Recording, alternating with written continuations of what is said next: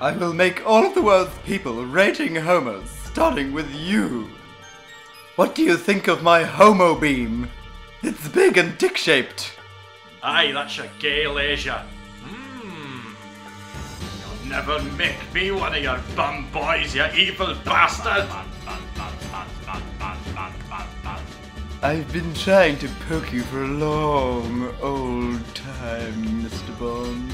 You and you. Music, please!